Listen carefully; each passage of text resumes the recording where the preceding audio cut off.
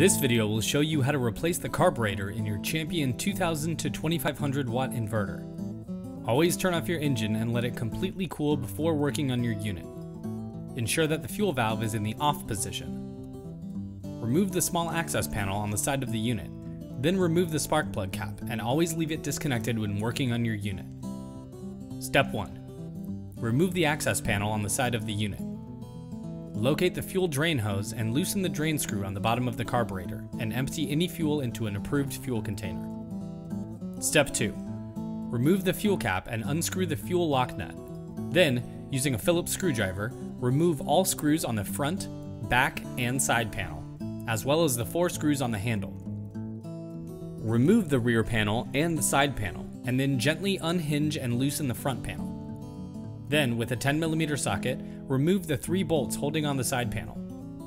Your unit may have a solenoid connected to the panel. If it does, disconnect the wire connector and fully remove the side panel. Step 3. Remove the breather tube from the valve cover and the air cleaner pipe. Step 4. Using a 10mm socket, remove the two bolts holding on the rubber air cleaner pipe and fold it out of the way or remove it completely. Step 5. Make a mark on the choke cable wire using a permanent marker, and then with an 8mm wrench and a Phillips screwdriver, loosen the cable wire clamp. Then, gently lift the fuel tank to access the choke cable clamp screw. Loosen it with a Phillips screwdriver and remove the choke cable wire. Step 6. If there is a solenoid at the base of your carburetor, disconnect this wire connector. And then locate the stepper motor wire and disconnect it from the control panel. Cut any cable ties if necessary, and gently lift the fuel tank. Follow the stepper motor wire back and undo the wire clip to free the wire. Step 7. If you have a dual fuel unit, locate the propane fuel line and loosen the hose clamp with a Phillips screwdriver. Then firmly remove the fuel line. Then locate and unclip the fuel vent line. Step 8. Slide the old carburetor off the studs and locate the gasoline fuel line. Then, using a pair of pliers, loosen the clip and carefully detach the fuel line to fully remove the old carburetor. Step 9. Take your new carburetor and first reattach the gasoline fuel line. Make sure to replace all gaskets and slide the new carburetor onto the studs. Now reverse these steps to reassemble your unit with your new carburetor. For dual fuel units, replace the propane fuel line and secure with the hose clip.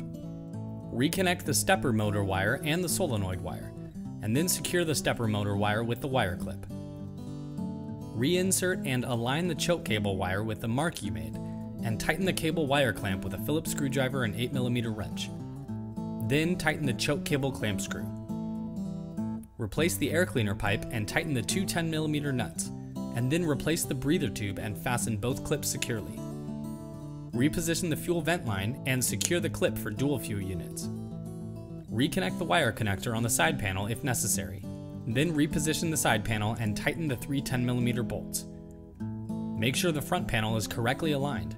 Reinstall the rear and side panels, and securely tighten all screws around the unit. Replace the side access panel and tighten the knobs, and then replace the fuel lock nut and fuel cap. Lastly, firmly reattach the spark plug cap and replace the small access panel. Your carburetor replacement is complete. Always follow the safety guidelines in your operator's manual, and for more help guides, visit the Champion Help Center at help.championpowerequipment.com.